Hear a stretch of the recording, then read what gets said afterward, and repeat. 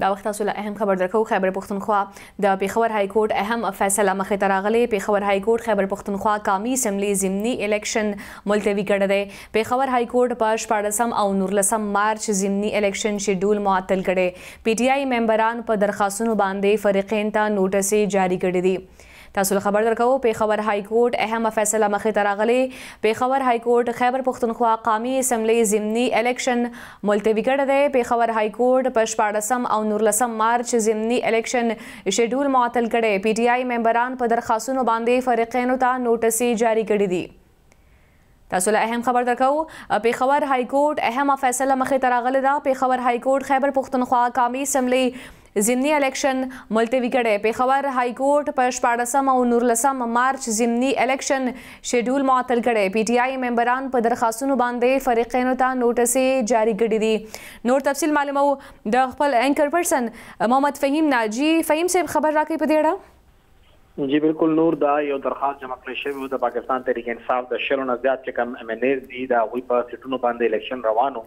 او هغه د وخت کې شډول باندې کار روانو کاغذونه هم نامینیټ خبر شو او نه پس حتمی فهرست هم مخه تراغلو او هغوی په پیښور های کورټ کې ریټ کړو د حواله سره پرون یو سماعت شوی او هغه سماعت دوران دا وینا شوې و چې کوم جج دی هغه دا وینا وکړه چې موږ په خپل په الیکشن ټریبیونل کې یو ځکه زه دا کیس نشم اورېدی او سبا به نوې بنچ جوړیږي تاسو کیس باغه اوري نن چې کله نوې بنچ جوړ شو هغه ختمه کې سماعت وکړ نو هغه انټرم ریلیف ورک دغه ممبرانو ته او دا هغه چې څومره الیکشن او په خیبر پښتونخوا کې دغه سلیری شلکو باندې هغه هغه معطل کړ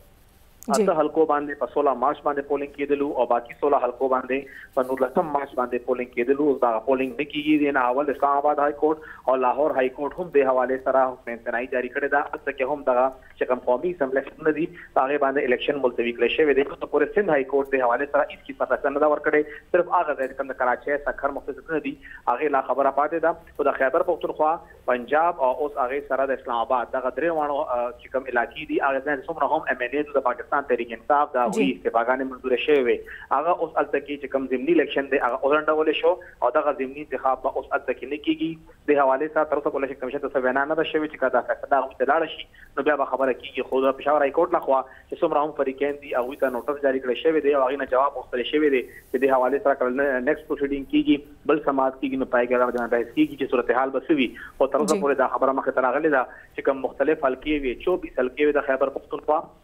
هلته کې به الکشن نه کیږي او هغه الکشن تا حکم ثانی معطل کړی شوی دی جی. صحیح ډیره مننه محمد فهیم صیب د تفصیلاتو لپاره پېښور های کورټ اهمه فیصله مخې ته راغلې پېښور های کورټ خیبر پښتونخوا قامي اسمبلې ضمني الیکشن ملتوي کړی دی